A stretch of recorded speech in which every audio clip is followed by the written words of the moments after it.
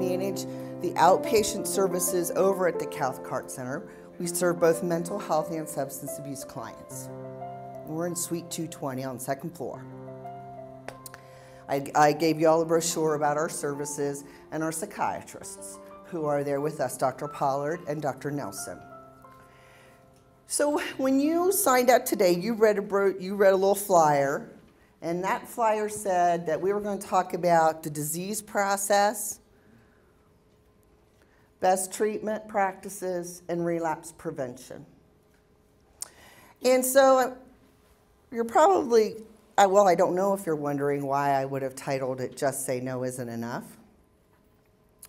But I did indeed entitle or title this program um, that because I have found in communities our size, particularly, that is, there's a great stigma regarding substance abuse treatment and addiction in general. So everybody wants to hide, but everybody around them knows the truth, right? Except them, typically. So I said that because, you know, God bless Richard Nixon and Ronnie Reagan, but Richard Nixon's was the war on drugs. And Nancy's slogan was just say no. And neither have worked. Neither have worked. Now, is there a place for incarceration of criminals? Certainly there is. But the answer, to the solution in the 70s was let's incarcerate everybody, dry them out for a few months, and it'll be solved. Well, that didn't work because guess what? They got out and they didn't receive much in any way, form of treatment. And so the disease process continued to manifest itself during incarceration, and that happens today. Secondly, is when we say just say no, what we're saying is if you can't, you must not have the willpower to do so. Right? Because if you could just say no, then you shouldn't have a problem. A lot of people still believe that. We call that the moral model in this country. A lot of people still believe that. That if you were just strong enough, able enough, hardworking enough, pull up your bootstraps enough, you could just decline the drink or you could just decline the drug. And what I'm here to teach you today is that is absolutely, unequivocally, unsubstantiated malarkey. And I feel very strong in that, and I know that's a very strong statement. But I say that because I think the only way as a community is for us to believe the truth. And to me, you learn the truth through education. So that's why we're doing this today. It's the inception, if you will, of our attempts to educate the, the Park County community and surrounding communities in truly what, what the disease of addiction is, why we treat it how we do, and how we can prevent relapse from what we know. So that's what we're going to talk about today. I'm going to start with a couple of YouTube videos.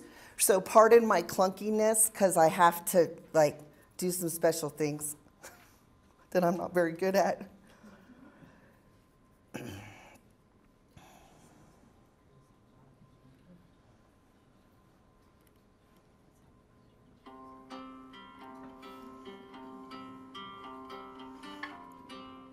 I'd like to make this full screen.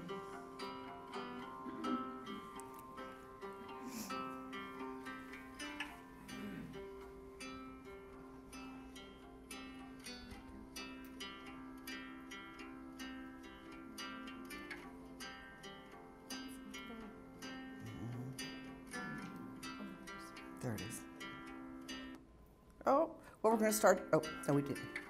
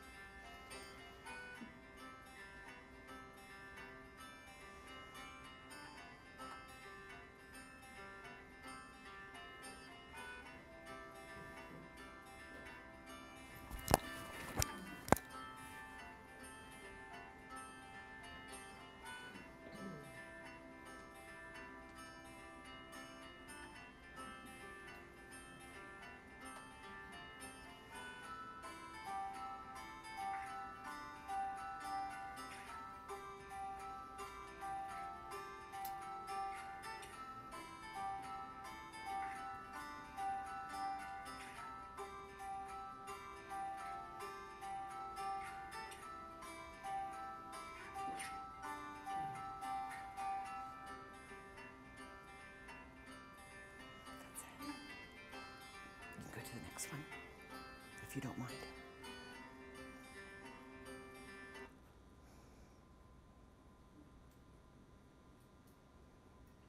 And then the brain up on the right. Yeah. Mm -hmm. Okay. Whitney Houston's death has us talking about her fight with addiction for so many years, and we don't know if it played a role in her death. Know that for more than 23 million Americans fighting addiction, just come out. quitting, just not a matter of willpower. New research actually reveals that substance abuse causes lasting changes in brain function. Going in depth this morning with our host, Sanjay Gupta, MD. Sanjay Gupta, our resident doctor, our, you know, the list goes on. You do everything basically. Um, all right, let's talk about uh, your piece. And, and I guess, why did you choose, and this is your expertise, the function of the brain. Wh- wh- What exactly the brain looks like in someone who, who has addiction, who's going through this, is a pretty remarkable thing. And I think it gives us a lot of insight into how it should be- best be treated. Can you hear it? Also understand it. Uh, that, that's what, what I'm trying to do here. I want to explain a couple of things quickly. First of all, this idea that Wait. someone has uh, some sort of anticipation of taking a substance. Uh, What should I do? Oh, they can't hear it. Put into the speaker on your laptop, put your microphone to that speaker. That's what we were trying to do. That's what I was doing, but I couldn't get it to do anything. We have it all the way up. Have it on the audio here? I don't know. Let's try. I'm sorry. I'm going to go again. That's sort of the first step. But then there are two important steps after that in the brain. And stick, stick with me here. So, so imagine, for example, as you take a look at this animation I'm about to show you, that someone takes a, a drug of some sort. What happens there, and this is the middle of the brain, is that there is a sense of euphoria. That's dopamine there, those small little You can't hear it? That makes you feel good. That, Is it that's, any kind of drug? I mean, we're talking everything from cocaine to Xanax. yeah, there, there, anything. just, just about any kind of drug, and not even drugs necessarily. It can be other things too, certain food substances. Sugar, for example, there can be a certain addiction called. But I think what's important is the next step. So you have that euphoria, but in someone who's a true addict, take a look at this picture here. Uh, on the left side of the brain is, you see the bright areas? That's still feeling good. That's the euphoria. But on the right side is someone who has an addiction now, not as much of that bright spot, and that is relevant. Why? Because they need more and more of the substance to try and get that euphoria back. Think about that for a second. You take the substance, you feel good, but in an addict, that, that good feeling doesn't last. So what do you do? You take more, keep more than ever for before. And that's sort of the, the basic, sort of simplistic, but basic form of addiction. Are those changes permanent? Well, th- they last a long time, and, and exactly how long is, is a little bit of a subject of controversy. But people say you can eventually get to the point where your brain does feel natural pleasure again, but that can take some time. What doesn't go away is this idea of the memory of the addiction. This is your secret. Wait for 10 years. Think of another cigarette, not smoking again, and right away you can go back into addiction. Whereas if you've never smoked before, it can take you some time to build up that addiction It's again. like what they say, uh, yeah, well, eh, I mean, folks that we know that have gone through treatment say once an addict, always an addict. Uh, There's truth to that, right? It's a, con- you- you aren't just cured, it's a constant battle to stay away from the temptation or feel that euphoria, right? That's right. People say that, but I wanted to show the pictures of the brain to really explain why that is. You see that, that dark areas of the brain, you need Okay.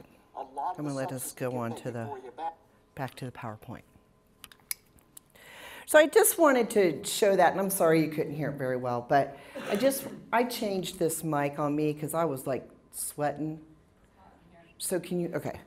Um, yeah, agreed. So I, uh, I showed Dr. Gupta because, you know, I, I don't know what it said on that, 2012, 13. We've been talking about this for a long time. So um, I'm going to just go on to show you more evidence. If we could get to full screen, please.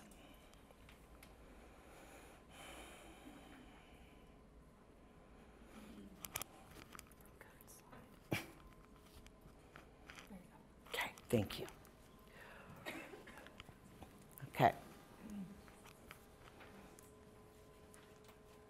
Okay. So, what Dr. Gupta talked, talked about, and I told you the first thing we're going to talk about is the disease of the brain. So, it's not, it, I hope it's as exciting as I can make it for you. But the truth is, is you have a little part of your brain right in there. It's called the pleasure center, and it's the nucleus accumbens. And what your nucleus accumbens does for you is it tells you when you're experiencing pleasure and when you're not. So when you eat a piece of cheesecake and that tastes good to you, your little nucleus accumbens is sending out little dopamine. Woo, that feels good. I like that. Next week, you'll be approached with another piece of cheesecake. And your little memory here is going to say, I like cheesecake.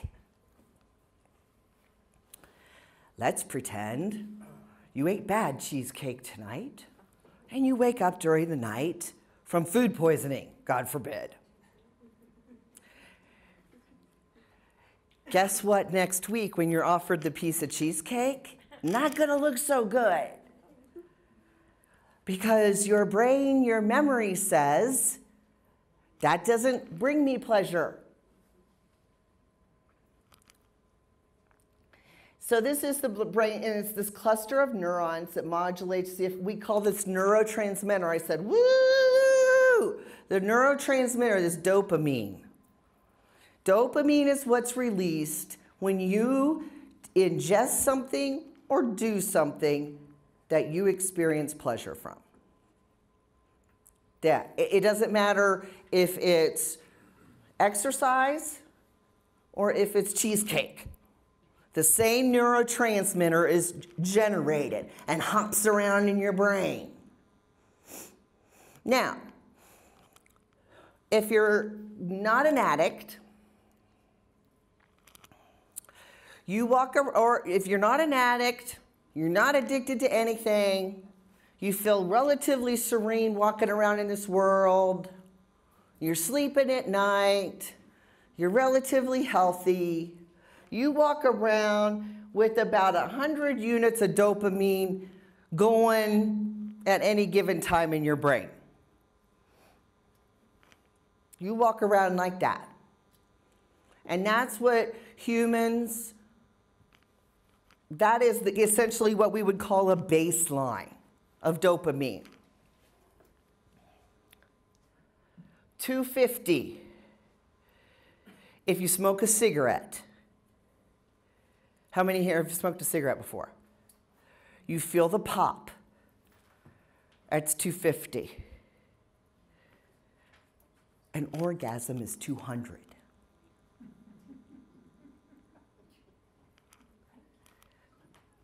when you exercise, how many have exercised and then experienced the sense of ease and comfort after exercise? You know, you feel that kind of calm. That's the do- your dopamine has escalated to a point where you are experiencing a sense of ease and comfort and harmony with the world. That all is well. And then you wake up at the next morning and guess what? You're back at 100. That's how our brain works. 1,800 units is what the average addict needs of dopamine to feel the same sense of ease and comfort that you feel if you were ever addicted to cigarettes and needed a cigarette and then smoked it. If you've ever exercised and experienced that sense of ease and comfort and calm and relaxation. An addict has to go clear to here to get the same experience. Why? Because they've taught their brain, whoops, they've taught their brain that they need that much neurotransmitter dopamine activity to feel okay. We know this to be true. When you have that much activity going on in your brain for that long, you change your brain. It's not much different than a car accident, except a car accident happens acutely from a trauma, and addiction happens over time. But the same deteriorative symptoms occur. Anyone ever seen a patient with what we call wet brain, end stage alcoholism? Looks like they've been in a motor vehicle accident and can't talk, can't speak, or massive stroke. It all looks the same. This is why we say that addiction will ultimately lead to jails, institutions, or death. And in that first video you saw, it'll ultimately lead to death. Because if your pleasure center says you have to have this much dopamine to feel okay, guess what? Your other organs are suffering. You can't help it. Cardiovascularly, everything is affected because you need this much. So that's why we call it a brain disease because we know for sure your brain changes. You saw the pictures that Dr. Gupta showed of, you know, the brain um, and how much, you know, smaller the activity is in the brain. It's because we kill we kill all of these wonderful cells in our brain. Is what what happens with addicts. That's why they become slower, slower to respond. If you notice, the gait will start to slow eventually. Words will start to slow, conversation begins to slow, and that's all a, brain deterioration. That's the disease of addiction, untreated. That's the ugly part of the illness that we treat. So, can we cure you people? Can we cure people? Well, that's kind of asking if you can cure diabetes. We manage diabetes, right? By your blood sugar levels, your glucose levels. And the way we manage that is we keep it at a constant baseline therapeutic level where your pancreas is happy. It's not too high, right? Your organs aren't having to work too hard. That's the best way that we can describe if you're cured from an addiction. You know, they say with cancer often it's in recession. They don't say cured very often.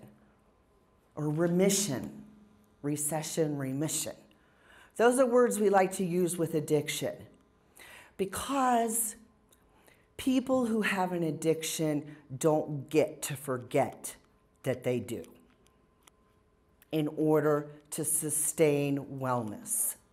You don't get to decide when you be treated for, um, for um, stage two breast cancer that you're going to say to your oncologist, I'm never coming back again because you said I'm in remission. You don't get to do that if you want to live.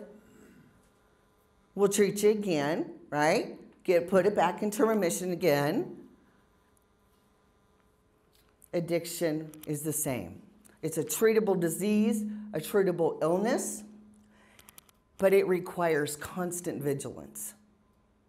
Very similar to diabetes. If you if you've if you yourself or been ever around someone has to constantly take the pin prick, measure their, their sugar level, et cetera, et cetera. It's a constant diligence. So when somebody says to you, I haven't drank for five years, I'm good, they're wrong. They are wrong.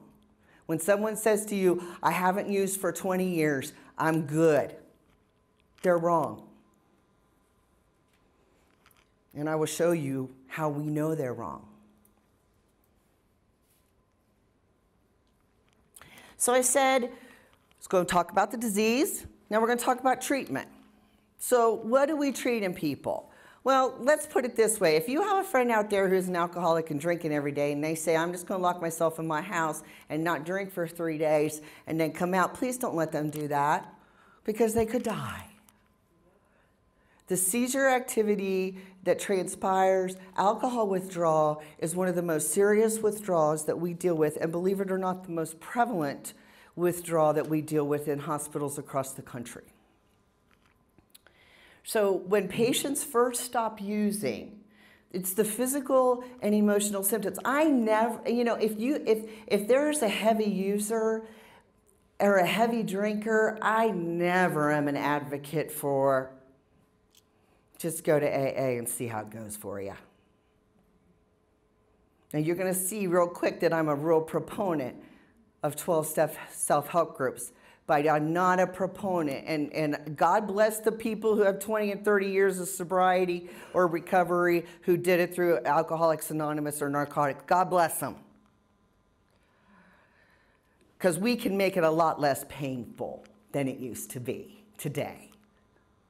We really can. And we can bring people farther along more quickly than what we used to be able to do by the medications that we have. Now, I'm not going to talk to you about specific medications because I'm not a physician, but I will tell you that we use them and they're quite effective. And no, we're not, we're not substituting one for the other. We are helping a person in their initial stages of recovery to get sober or get clean, and we'll proceed in the recovery process. But for us to ignore the ability for medications to treat our patients would be such a grave disservice in the medical community. So that's why we use them. So that's withdrawal. And staying in treatment, I'm going to show you that the longevity in treatment is the answer. How long somebody keeps going to something is the answer for true lifelong recovery.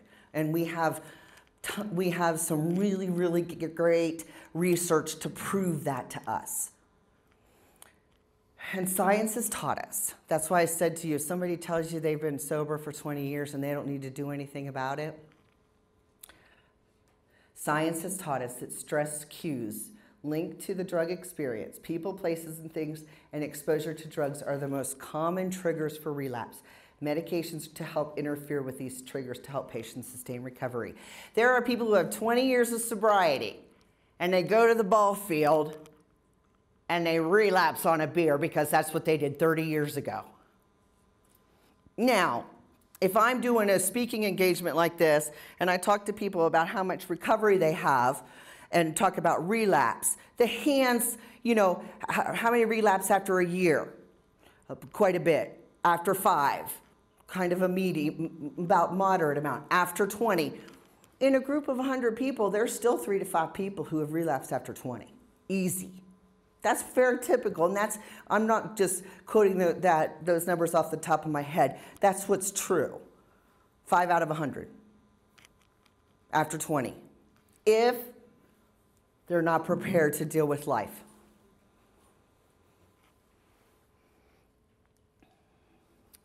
So you saw in the first in the first um, slide I showed you that one in ten people will get treatment for addiction. Now, why do you think that is?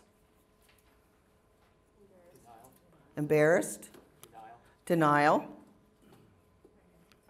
Financial. But I told you that's not an excuse we can have in Cody lazy, stigma. Yeah, it, it ain't easy getting sober, that's for sure. They like it. Well, sure. They don't like it. No. Hell no, I just like getting high. Right. It feels a lot better that way. A lot better that way than to experience what I really have to. My dopamine at 100 sucks for addicts and alcoholics. That is not a pleasant way to live if you're an addict or alcoholic. And for the first five years, when you're fighting to get down there to 100 units, is not pleasant. Pretend you're hungry all the time. That's what it is. That's the, that's the feeling of the crave. And it's pretty constant. And we know, but we know, we know how to abate it. We know what works. It's just getting people to buy in that will stick with them to get them through it so that they're not so lazy to say, this might be worth it. So, one in 10. So, I talked to you about in withdrawal And oftentimes, symptomatology of craving for some folks is extremely difficult, difficult. Opiate addicts, in particular, it keeps opiate addicts using because being sick and tired and throwing up and body, if, just imagine feeling like you had the flu all the time, you know, or the worst flu you ever had. That's how it's, that's how it's explained. The worst flu you ever had. So just to abate that, to make that stop, will be the next opiate hit. But, so we got the medications I talked to you briefly about. Behavioral treatments help people engage in substance use disorder treatment, modifying their attitudes and behaviors related to drug use, increasing life skills, handle stressful and environmental cues that may trigger and prompt another cycle. Behavioral therapies can also enhance the effectiveness of medications and help people remain in treatment longer. We know that's for sure to be true.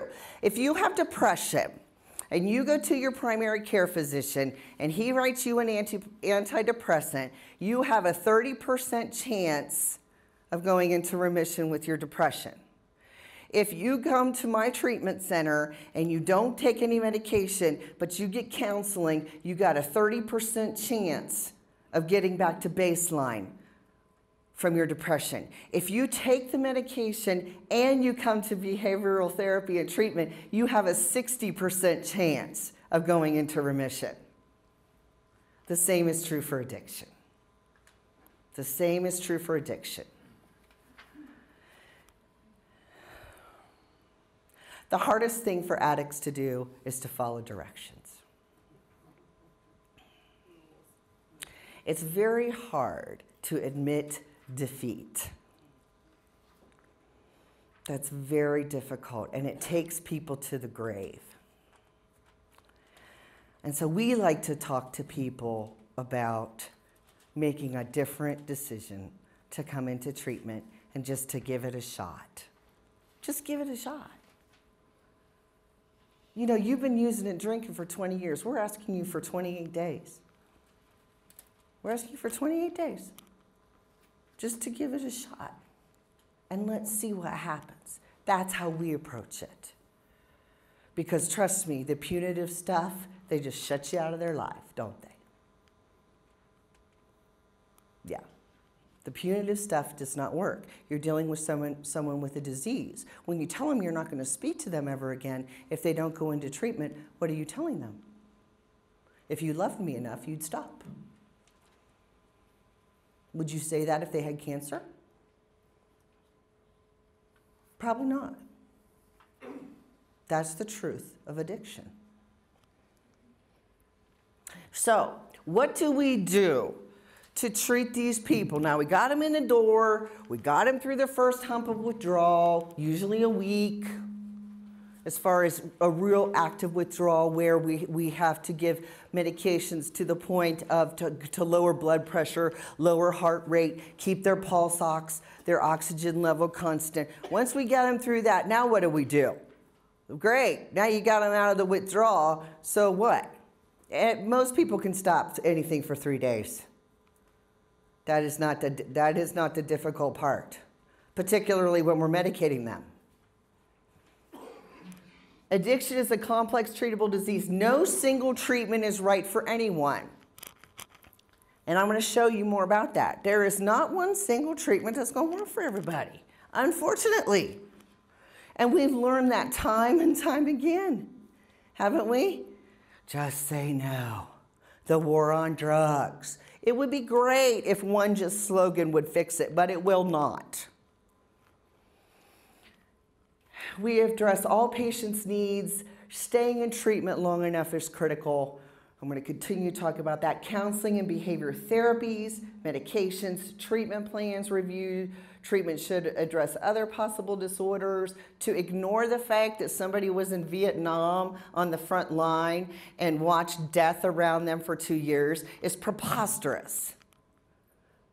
To not understand that that may be influencing in some way, shape, or form their use. Not an excuse, but an influence. And so for us to now, granted, somebody doesn't walk into Cedar Mountain Center and we sit down and say to them, Now tell me about your history in Vietnam. The first thing we're going to say to them is, We're going to try to help you keep sober today, and this is how. Maybe two weeks after that, three weeks after that, we'll continue the course. But step one is putting it down. Because right now they can't think for squat anyway. So it's better to just try and stay, keep, give people support to keep them sober one day at a time. Um, treatment doesn't need to be voluntary to be effective. A lot of people believe that. If you don't want it, you don't need it. You can't have it. That's bunk. What we know is court ordered treatment is effective for people who walk in on their own free will. People stay sober as long in court ordered treatment. It's just such, you know, I don't, you know, it's just, I, I often think in treating addicts and alcoholics, how many of you are the sandwich generation? You got kids and you got parents. And you've watched and you've had to be the caregiver for both. It's kind of like that with addicts and alcoholics. Sometimes you just got to tell them what's best for them, and you just say, We need you to trust us. We just need you to trust the process with us. Because if you do, we can give you some hope. And of course, we test for other diseases all the time, so we can be treating everyone wholly, okay? So, I'm going to talk to you about the MATCH clinical trial. And the MATCH clinical trial was probably the most, unfortunately, it was back in 89, but it's still the most encompassing long term research project that has yet to be done to date regarding treatment for addiction. And what the Match Project did was an eight year multi site, $27 million investigation. We wanted to find out how do we get people sober and how do we keep them there? How do we do that?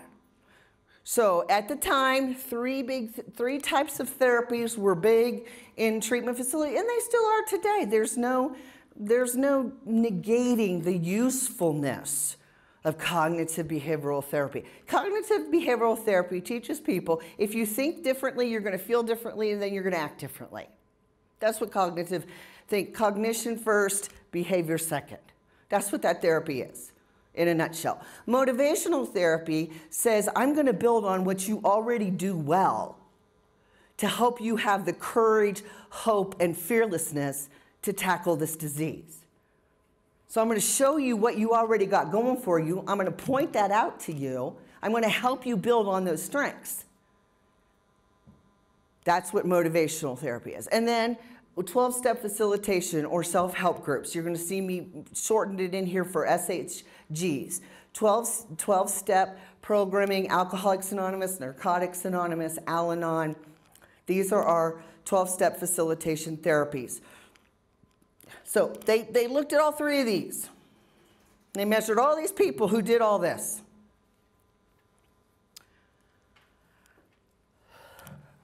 And guess what they found out? It didn't matter. It did not matter. What mattered was the time that you spent in treatment. Where can you spend the longest amount of time in treatment in this country? What? Possibly. Where? Right at your back door. 12 step self help groups. You have in Cody, Wyoming, four a day that you could go to whether you're one day sober or 30 days sober or 30 years sober. And staying in treat, and that is a form of treatment that the match, that the match um, research showed us is the longer you stay, the better likelihood you're going to stay sober forever. So, guess what it found out? People who did cognitive behavioral therapy, left treatment, did not go to AA, relapsed in one year. The majority. People who did motivational interviewing, left treatment, did not do um, 12 help step, step groups, relapsed in a year. People who engaged in one of those treatments in 12 step self help groups had a better percentage at five years and at 16 years of recovery by 50% if they started going while they were in treatment. They stay going. It is free care for the rest of your life. And you know, 12 step, us psychology gurus, self help groups gotten kind of a bad rap in the late 90s, 2000s. We said we can do better. We can do better with this, we can do better with that. But we, we still haven't found anything does better. We haven't. That's the truth. The truth is, is when you have support and like-minded people in the same place, you stay well. And that, I don't know if you, you think about yourself. Do you belong to a church? Do you belong to a group? Think where you feel safe. Do you keep going back? Yes, you do. Why do you keep going back? Because you enjoy it. It's a supportive environment. You feel similar to those people. It offers you strength, support, and hope. I don't care if it's work, church, a community group, whatever, right? You keep going because your pleasure center is activated when you're in there. And you remember that. I put this little, I go home today, the rat's talking or mouse is talking. They cured me using this new miracle drug. I'm afraid it'll be years before it's approved for humans. So I'm going to talk about relapse prevention. I said that was my last one. I told you about treatments, and you can go leave here and say, that crazy lady at Cody Regional House is still talking about 12 step self help groups.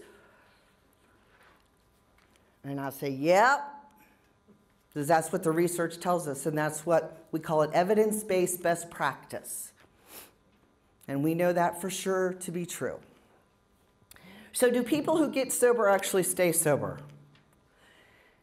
Can't you ever be free of addiction?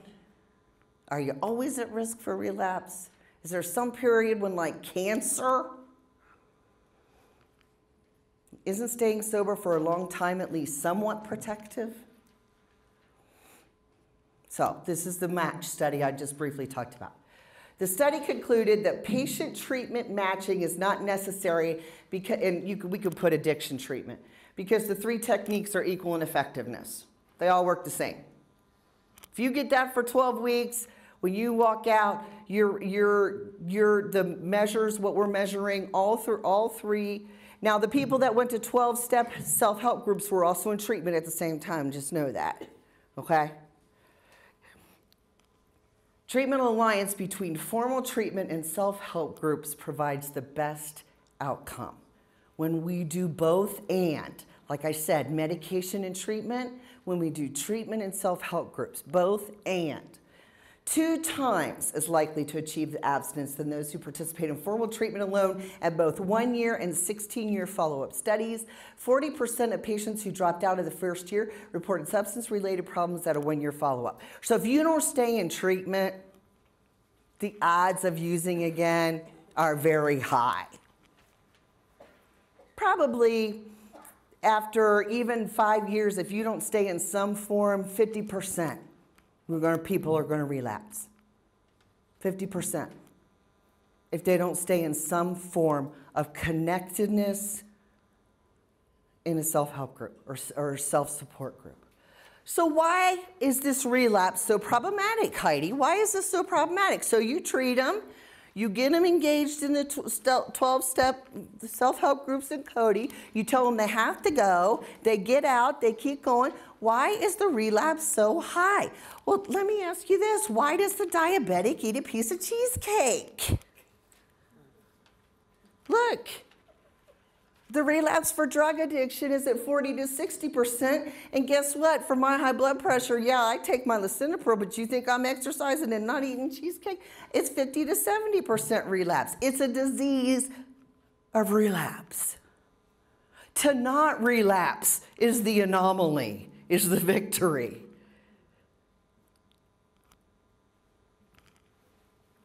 We, dr- drug addi- addicts and alcoholics, relapse less than folks with asthma who do not use their nebulizers the way they're supposed to, or people who have hypertension who do not diet or exercise or take their medicine like they're supposed to.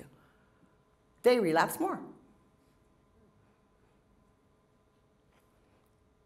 Even more proof of why it is the disease process at work in the brain. Doesn't mean treatment has failed. You know, the chronic nature, li- li- listen, folks will tell you who have used or drank for a long time say that has been my solution until it turned into my problem. It was my solution. Many alcoholics and addicts that you know today would probably not have survived, would have died by suicide had they not had the alcohol or the drug. So when folks say that in earnestness, they've saved themselves often. So the chronic nature of the disease means that relapsing is not only possible, but likely.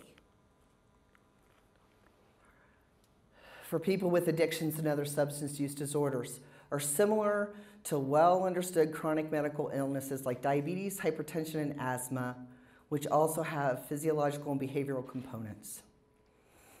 Changing deeply embedded behaviors. You know, we're asking people who have drank or used for 23 years, 20 to 30 years, to stop. It's all the way they know how to live. We have to teach everything over again. We teach everything. Because folks do not know how to live without it. It's been their solution. so, relapse prevention. So, how do we work with this number that 40s to 60%?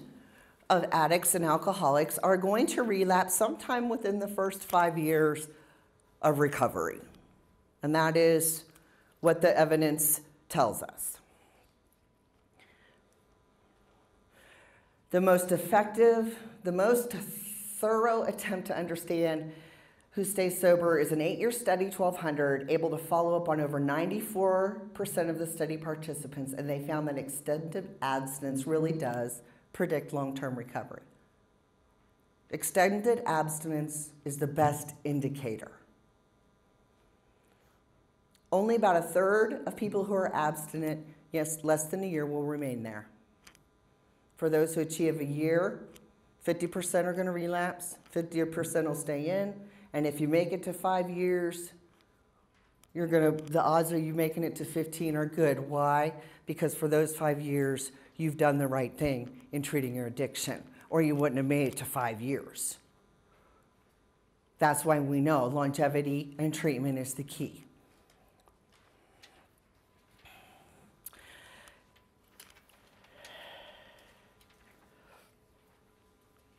So, my experience with, with the treatment of, of folks, um, 20 years or more, um, they do relapse, but if they get years under their belt, the odds of staying in sobriety and the uh, recovery are good. How do people stay in, in sobriety and recovery?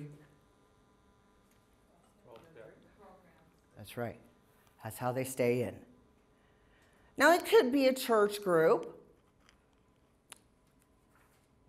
It could be because there's there's there's some self-help groups uh, that that have come out of out of the foundlings of Christianity, and that's okay, as long as it's not a 12-week self-help group. Because the answer is not going to be found in the amount of information I can absorb in 12 weeks. The answer is going to be found in my willingness to be honest with you every week for 15 years. What we know is going to one meeting a week in continued recovery does is let's say after five years you're only doing one meeting a week is as effective as if people are going to five in early recovery. Does that make sense? That we know for sure to be true. So, what happens?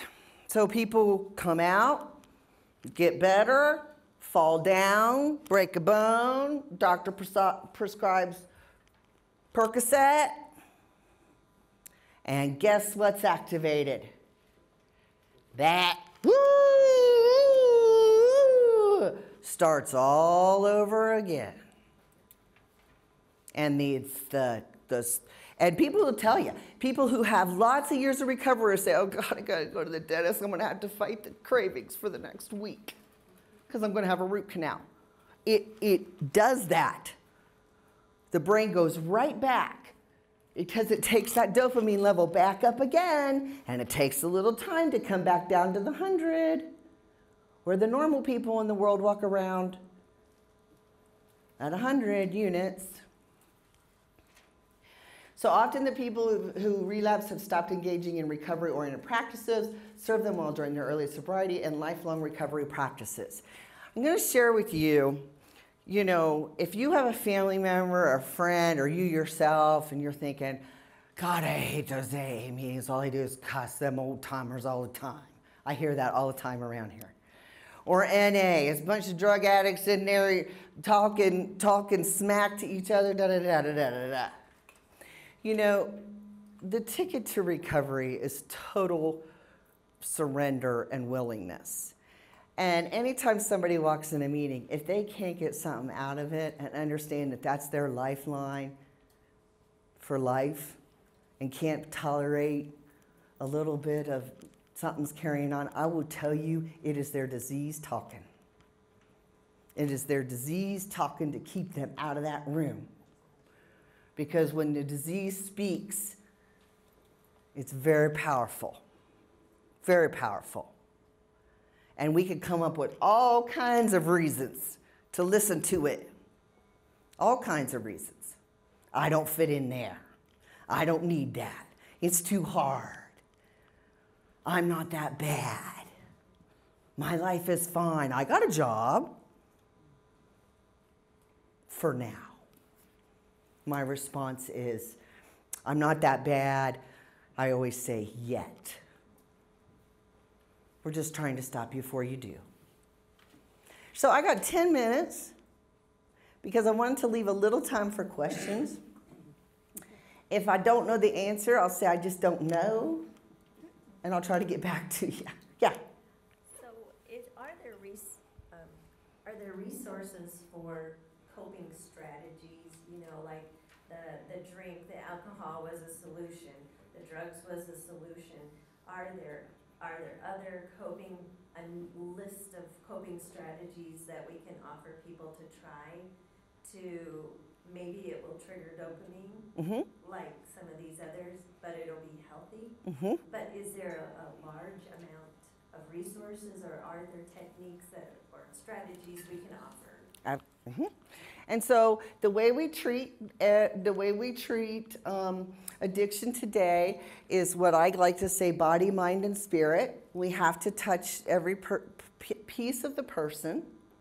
So we talk. We we engage folks in a lot of practices. We engage folks in exercise again. We engage folks in some type of spirituality again. They can't be the their higher power. They can't be the be all end all in the world. So we teach that and an acceptance of that. And we teach every day how to cope with walking by the bar. Or if I can't go down that aisle of the grocery for the first year, what do I do? I've had clients who didn't go by themselves to the grocery for a year. I have clients who have 20 years of recovery who have still not walked back in to the Proud Cut or Silver Dollar because they can't. 20 years of sobriety and it still triggers for them. So we teach how do you stay away? What do you do? So I'm not going into Proud Cut anymore. Now, what do I do with every eight hours of an evening after work, right? That's where we teach because people who drink and use at the end are drinking and using alone. You see, what, what starts as a party ends up as a big old pity party in self isolation. And so, what we teach people is how to engage in the world again, and that always includes other people because we are not meant to be isolated and alone, and that's a big part of it. So, is there a list? Oh, God, I wish there was a list. But the list is as, adva- as vast as each of your idiosyncrasies of your character. That's how big the list is. Question. Uh, well, I was wondering about family history or the uh, alcohol gene something like that. Is that, can you share something? I sure can. I, uh, I smoked back in the day, and I'll never forget when I came clean with my doctor. I was like 25 or something. And I told her, I, and she knew my family history, and I said, Oh God, I started smoking. And she said, Well, when did you pick up? I said, During college. And she said, The minute you picked up that cigarette, girl, you were doomed. Both of my parents smoked. Both of my maternal grandparents on both sides all smoked. My whole entire, my aunts and uncles, everybody smoked. My brain was ready for the hit of nicotine. My brain was ready. All it needed was it to jump that dopamine right up there and make me feel awesome. So I, I really do have a brain disease. I, I always say I'm brain, I'm, I've got a brain disorder. That we have learned that the genetic component of addiction is significant and relevant. If you have a parent or a grandparent who is an addict or an alcoholic, it would be really easy for you to cross over that invisible line from social use and drink to I have to because your brain is ready and charged to do that. I always tell that to my folks who are spouses or where they're like, oh my God, my grandmother, my father. I'm like, it's not that far away. Trust me, it's not that far away. It's true for everyone. And that's when the alcoholic says, I took the first drink and God, I felt like I was home. Some of you took your first drink, puked all over the car, and said, I'll never do that again. the alcoholic brain puked all over the car and said, maybe I ought to try Jim Beam next time. That's how the brain was ready. Question, back, question. So if you're already predisposed and you don't take that hit after eighteen, but you take it before eighteen, what resources are around Cody for kids? Yeah, so, yeah, so not a lot. We have individual counseling for kids. Schools have some stuff going. Group supports. Group supports are not happening. And you know what's so funny? Not funny. At Cody Regional Health, part of our grant is that we can offer adolescent groups for addiction. We've attempted, they've attempted almost every year for the past five years to try. We cannot get them in. We cannot get more than one, two showing up. Is it peer pressure? Is that, is that? I think it's that, I just think that parents don't want to fight it. I, it's just too big of a battle. Who's going to want to fight that every night to, to shove Jimmy in the car and get to the, I mean, I just really, that's what we've experienced. Until they're part of the court system. Then they, then it's a, then all of a sudden it's a different story. And Heidi, I'm sorry, if I could speak to that, because I worked with that grant, with the Director of Communities grant, and it's, she, she's exactly right. It's something that we'd love to work with the school district on to maybe have the group, um, during the lunch hour, um, it be an anonymous, um, in a- in a classroom, and you can provide lunch. We are working with the district for ways to, um, help with anonymity and there not be that stigma, but there are places they can go where they don't have to have even their parents take them. But that is a barrier and an obstacle, so we might, we're to, we'll try again. We're going to try again in 18. See if we can do her. I got one of my staff going out to Powell High School almost every, about once every month. And he does a whole series of lectures in, in classroom. So we're going out. It's just bring them in for the consistency and the commonality that I have with my peer. That's how kids get sober. We know that for sure. Question. Um, when you were reviewing principles of effective treatment, you passed over, uh, the note of monitoring drug use during treatment. Is that because the harm reduction model is so controversial? Wh- I need you to show me exactly where you're pointing at on which slide. What page and what slide? Under, uh, principles of effective treatment. What page? Oh, that would be, okay, page Page six. six. Yeah. The next to the last line, drug use during treatment. Oh, sure. Must be monitored continuously. Sure. Uh, when I was, uh, uh, taking the classes for the peer specialist, uh, from Recovery Wyoming, they mentioned, uh, the harm reduction model, they it, but that it was, uh, fairly controversial. Yeah, it is. It is. You know, we, and did anybody see the TV spot on NBC KULR 8 that I did last Sunday? Not this past Sunday, the Sunday before. Did anybody see that? Great, great advertisement. Not one person watches the 10 o'clock news. Okay. Anyway, so she put it on there. This is the truth about medication assisted treatment. Medication assisted treatment, if you read up on it, it began in urban areas. Why? To keep people alive. Why? So they weren't using dirty needles, shooting up in the back of alleys, overdosing, and then dying in their own vomit. That is why we started harm reduction medication assisted treatment programs.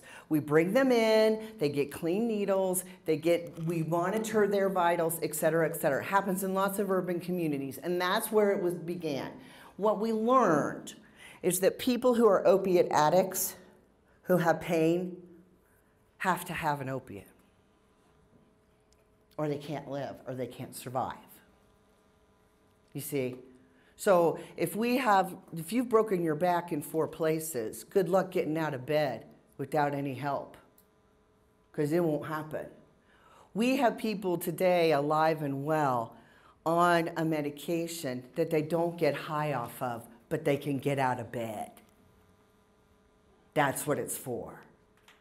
So when if somebody, if I'm in pain and I drop, break, break my back in four places, and somebody said, you're a previous addict, I'm not gonna give you something, and the difference is between me being able to get out of bed and live a life and not, and I go to see a physician every week or every month, I'm gonna pick that. And we're gonna keep, pick that too. Because otherwise what happens is people in pain overshoot the mark every time. Every time, and then they die. And so, what we have to do is monitor it, keep people out of as and trust me, every person in our pain in, in our what we I would call a pain clinic MAT program, medication assisted treatment program, every person in there without it would not be able to function. At least certainly the majority. Titration is always the goal. Total abstinence is always the goal in our philosophy. Yes. Um, do you do trainings for the judges, like the judges and the attorneys, because, um, uh, as a social worker, I've just seen a lot of that, you know, well, they're just trading one drug for another, is the argument that, that, that attorneys will use in court, Yep. you know, something, and, and, and I think if, just, I'm just wondering about the education level for the attorneys and for the judges to know that that's not just trading one drug for another. Amen. and we are, you know, I, I've, I'm learning. I've not been. I've been here since early December, so I'm learning the the the tribes around Cody, and I'm getting ready to make my way. And I will see how I met with the prosecuting attorney of Cody. I don't know. I'm just. Judges, I think, really need to hear it. Yeah, I'm just, you know, so I'm going in front of, I, somebody's giving me some names, I'm going in front of all of them. But I'm gonna do it one at a time because I'm just too scared to do it. I, I just can't, I just can't do it in an entire group because attorneys make me, intimidate me, and I just, those judges are all attorneys and they use all that kind of legalese language. But I am gonna go in front of them one at a time, and then when I get comfortable, then I can get and keep, I can keep pushing. And we will, we will. Well, it's important because it's about keeping families together. You know, listen, you all are paying lots of tax dollars to put the same addict in jail again. Absolutely. And the same kids in foster care Uh-huh. and the whole nine yards. Uh-huh. It's, it's the whole. I was just in the jail the other day with one of my therapists visiting a girl, been in for 20 times, doesn't have her kid. Now, this is not helping. So, that's what I'm working on too. But you, taxpayer dollar people, also have a lot of um, power in that. And, um, you know, when you open the door to your loved one being able to be honest and open about their use, because you're not going to be punitive with them or angry with them, but understand it as a disease and that we have treatment here in Cody, you will be making as great impact as what any of us can make. So I appreciate your time. I'm glad you're here. You do have a little, um, a little uh, survey questionnaire. If you wouldn't mind dropping that off and just tell everybody how warm and wonderful I am, I would greatly appreciate it. I'm kidding. But thanks for coming. You are welcome.